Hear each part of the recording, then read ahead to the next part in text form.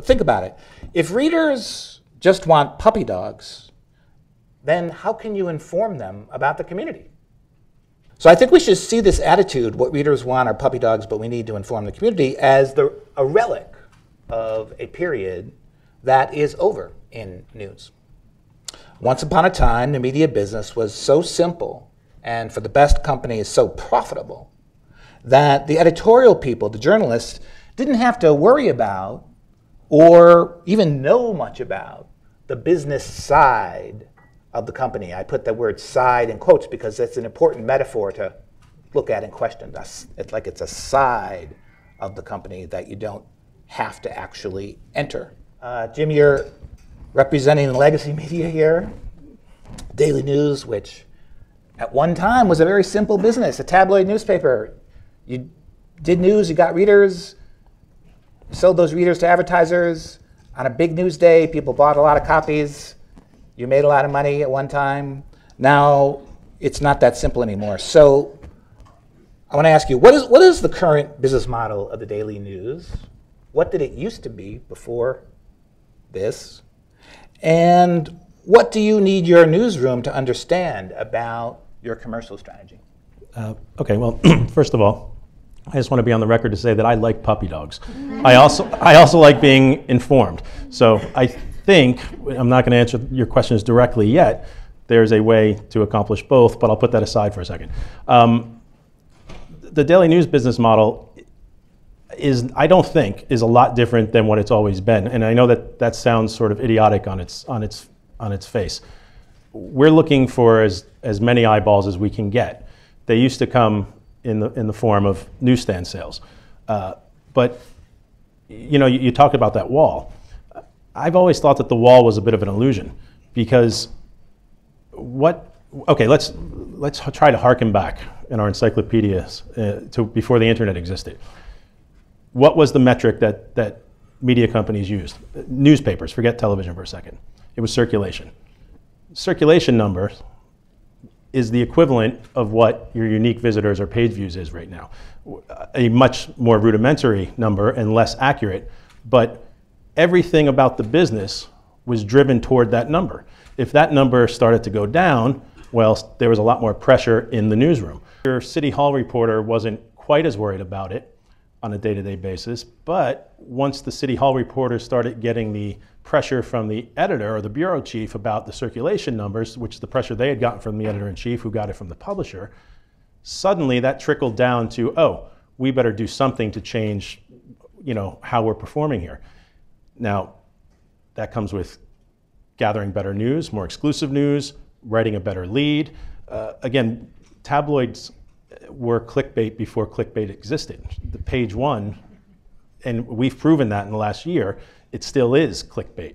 And to me, it's about attracting an audience. We're just using different platforms.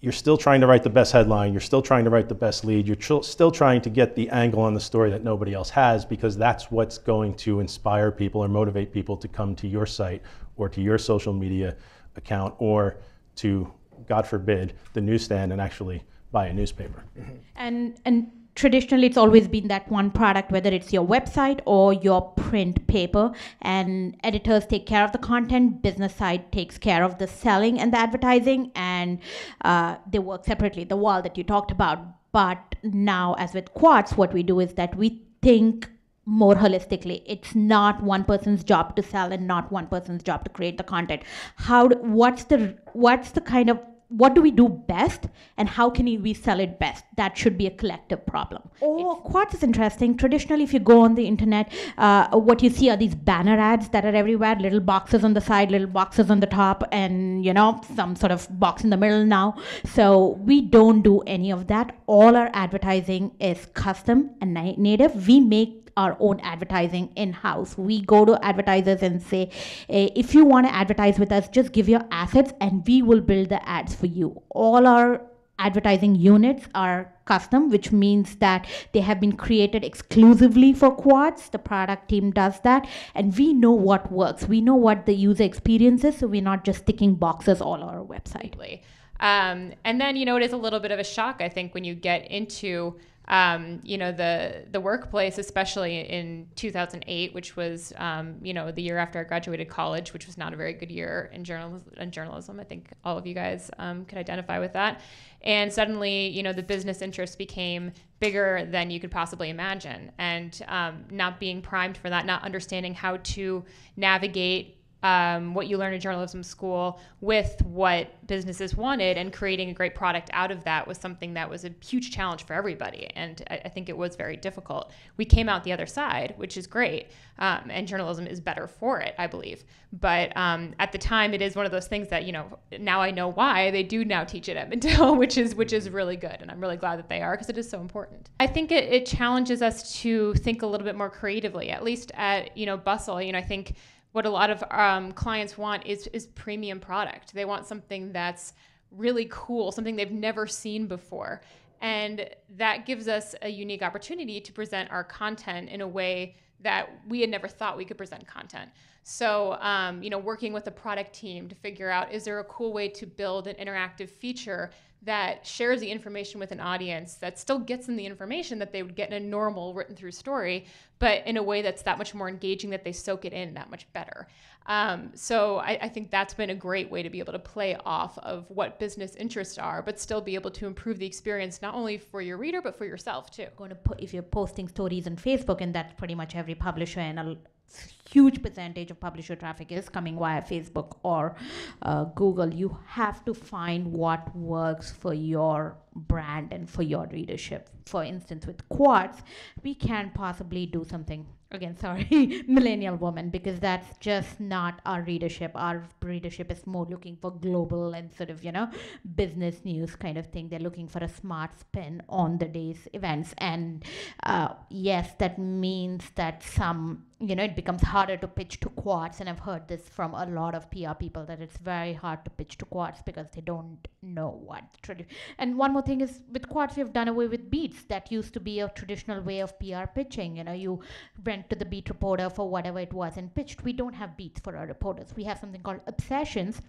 where somebody obsesses about a particular topic and that obsession doesn't have to be permanent uh, just like obsessions never are. So you obsess about it for six months you obsess it about for a year. Sometimes you obsess it about over it for just three months you know and then you kind of talk, go on to another topic and you know cover that deeply. So so that makes pr pitching very hard but it's just the nature of the business. It's changed because we now know who our readership is. We now have a very strong sense of brand identity. What is a Quartz story? Every reporter, every editor, every salesperson in our company knows what's a Quartz story, you know, and uh, and having and it's just something that's the new reality to work with. Excellent answer. Yes, and you know, part of the evolution at a legacy uh, publication is there are positions that exist in the newsroom now that would you, if we had gone back in the time machine and said, "Oh, where's your head of optimization?" They would have looked at you like you were drunk, which you very well might have been at that time. Yeah. Um, but uh, so, head of optimization, uh, editorial director, uh, chief uh, creative officer, all of these positions and people who fill them are are working uh, again in very similar uh, collaborative fashion with every every aspect of the company. Um, you know, business side, uh, advertising, uh, product development, uh, tech. So, and then of course editorial, uh, which creates, you know, interactions that five years ago wouldn't have would have never happened at a place like the to, Daily News. Yeah, to Jim's point, my job didn't exist two years ago. Quartz created that position two years ago when they saw that there was a need for someone who kind of understood editorial, could work with an editorial and product and uh, everything else. So this this is like you know Right. newsrooms are So just one way the wall has disappeared is that there are all these new people whose job it is to cross that those divides, right? And, and yes. perform functions that didn't really exist before. Right. I would, and the one, the one thing I would just add, the caveat I would add to that, as far as how that applies to at least the Daily News, but I think to similar legacy newsrooms at this moment in time, is that yes, so that wall has has been taken down, and I don't want to say that a separate wall has been created, but there's going to be, as Jay and I talked about a little earlier, there are going to be certain topics where there's not going to be any pushback at all or any queasiness when it comes to exactly what we were just talking about, which is okay, how can this content be adapted or tweaked in order to be put against a, a, a higher sell, right? Or a sell at all. And then there are going to be other things we do uh, as far as the, you know, again, the more traditional nuts and bolts, you know, city hall investigative sort of work where if advertising came to us and said, hey, you know, this would really, really sell great if you guys just did this, that, or the other, or didn't do X, Y, or Z. We're probably going to balk at that at that at that point. But again, we're talking a little bit about an apple and an orange, and, and the Daily News, where there is a there is a moment where we're attempting to be all things to all people, uh, editorially, and then on, on the flip side, as far as as far as uh, the business end of it goes as well.